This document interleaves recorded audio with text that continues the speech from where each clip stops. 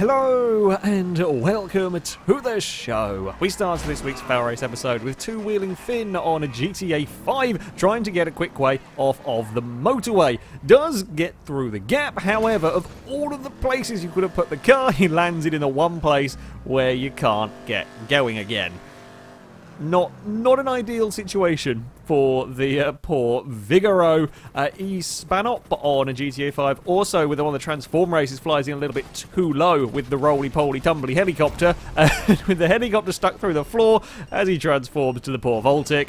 That's also trapped in the floor not particularly helpful, especially when you're now ended up in last place and going to explode in about 40 seconds. Uh, you will do eventually reset it, but you lost so much time and all of that. Yeah, not, not what you want your car to be doing.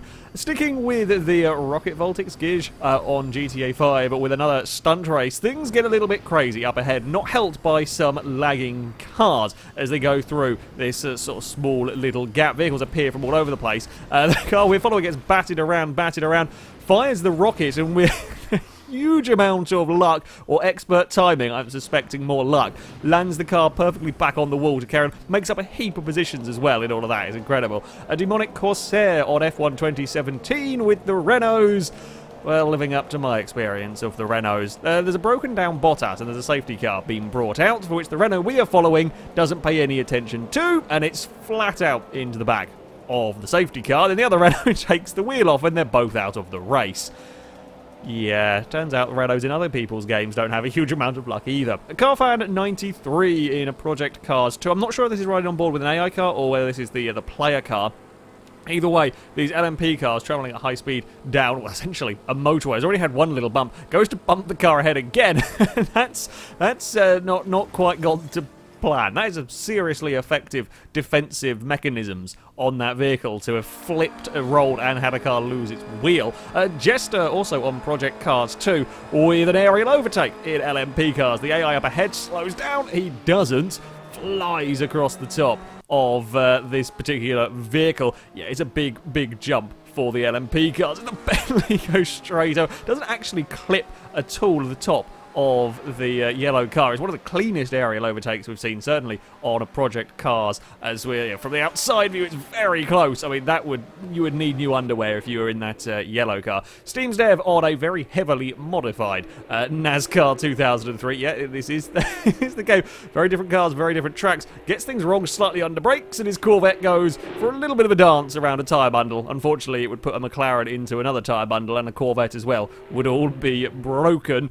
Not such a good day for uh, for those guys. Uh, Ozcast on Autumn Blister with the supercarts having difficulty staying on their wheels. I have seen this a few times with uh, with blister. I don't know quite why the last one falling over caused the frame rate to have a massive dump. However, it went to a sort of PowerPoint slideshow at one point there as he slides off into the tire bundle. Yeah, the supercarts are dangerous. Supercarts are very dangerous. Uh, Zombie Gent on Dirt 4 uh, gets his Peugeot and a uh, Lancia a little bit connected. However, that's not the weird thing. Up ahead, there is a, a just stops driving for whatever reason, and then somebody drives straight underneath it. Not sure. Not sure on that one whatsoever. Up next on to Wreckfest, the start of a race. Everything gets very chaotic at the start of these things. Uh, the player gets forced out wide, has no real option. There's suddenly a jump there and absolutely annihilates one of the poor AI cars. Now, we saw perhaps one of the cleanest aerial overtakes we've seen for a while. This is a properly, properly brutal aerial takedown. It's a sort of uh, takedown that you would be proud of if you were playing Burnout Paradise. I mean, takeout you'd be proud of playing, playing. He gets shunted out wide, can't really get back on the road, tries to get control, just sideswipes, just lands and crunches the poor AI car that tumbles and tumbles out of the way. Friend Stuff 6 on Assetto Corsa racing at the Nürburgring against some very, very fast supercars. Things go wrong up ahead. Of course, around very high speed blind corners, that's not so helpful because by the time you realise things are going wrong, you can't slow down for all of that, and a Ferrari F50 takes the brunt of that particular crash. Not quite sure what caused the upset. I imagine it's the um, airtime across one of these crests, upset a car at the front, and the speed that the Audi is going, you just can't slow down for that big, big pile-up. Uh, not quite the same as the uh, the Macau uh, GT pile-up, but pretty pretty good nevertheless. Uh, speed easy on a Ghost Recon Just completed a mission, calls in a uh, new armoured car, waits for it to be delivered, finds where it is on the map, goes to run around the corner to pick it up. However, They've not really deployed it in the most helpful of places.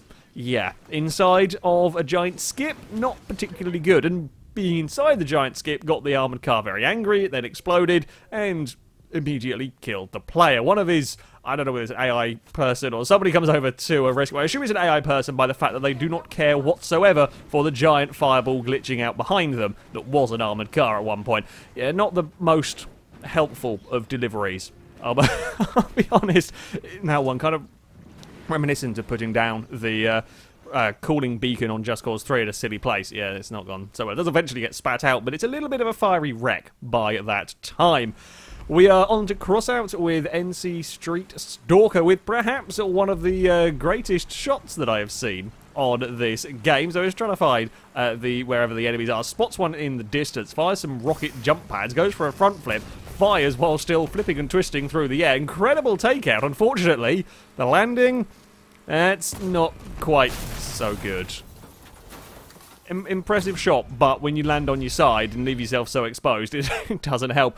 And finally, we are on Driver San Francisco with a very, very glitchy uh, Dodge Challenger. It's already managed to ghost its way through one of the uh, trucks here. It gets taken out by the police car, rolls, and then flies through the floor. Ghost Ghost Challengers are difficult to deal with, although it does also then get thrown out of the floor up to the sky, stuck on its side directly in front of the police car. It, it's taken an utter battering in the uh, space of uh, 20 seconds. Still going. I approve of the orange, uh, the black stripe. That's probably why it's rolling over quite so easily. But uh, there we go. That is going to be it for this episode. As ever, if you have clips you'd like to submit to this series, you can via our forums. There'll be a link in the description. At the very top of the page is the Fail Race clip submission section. You can find all of the rules and how to submit them in there.